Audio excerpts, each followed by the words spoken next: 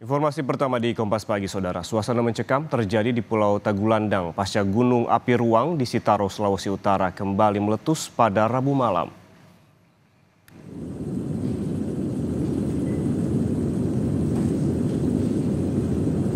Ya Allah. Orang so Saudara berikut ini adalah visual letusan gunung api ruang yang terjadi pada Rabu malam di mana suara gemuruh sinar api dan kilatan cahaya dari gunung api Pulau Ruang menyala di atas Pulau Tagulandang. Pemerintah dan petugas berupaya mengevakuasi warga ke tempat yang lebih aman. Ya Allah. Orang so lari semua.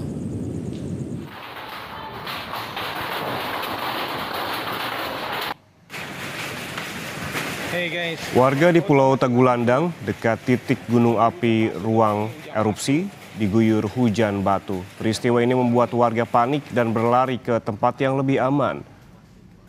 Dan beginilah suasana rumah warga di daerah pesisir Pulau Tagulandang depan Pulau Ruang. Tampak atap rumah warga dihantam ribuan batu dari letusan gunung api ruang.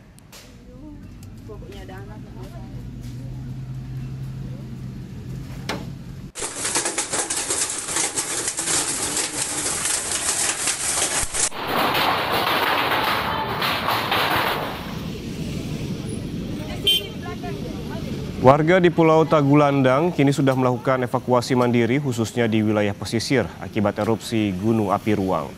PVMBG juga sudah resmi menarik status Gunung Api Ruang per tanggal 17 April pukul 21 waktu Indonesia Barat.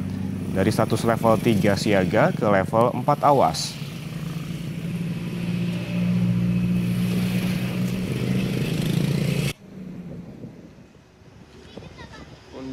Dengan kenaikan status, warga yang berada di radius 6 km dari kawah utama harus dievakuasi, termasuk warga di Pulau Tagulandang.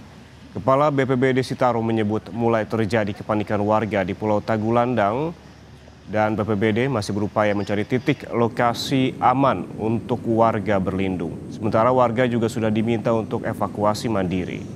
Ya Allah. Orang so lari semua. Sudah sangat eh, luar biasa peningkatannya sehingga kita tetap menunggu dari mereka untuk penetapan status selanjutnya. Memang tadi tadi sore sudah dibicarakan dengan Pak Bupati. Memang kita agak sulit mencari lokasi-lokasi alternatif untuk pengungsian karena memang kalau di daerah Balihumara ataupun Bahoy itu tetap masuk dalam kawasan rawan bencana khusus untuk gunung api ruang. Memang saat ini kita tetap mengarahkan supaya masyarakat yang bermukim, terutama di pinggiran pantai, ini segera mengevakuasi diri masing-masing yang aman.